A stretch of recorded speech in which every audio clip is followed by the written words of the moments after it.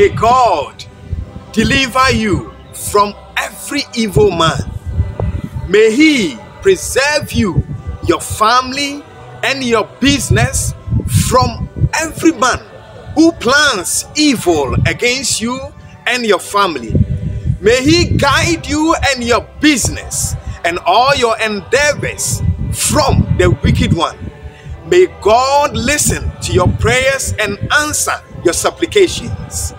May He keep you. May He prosper the work of your hands and that of your family.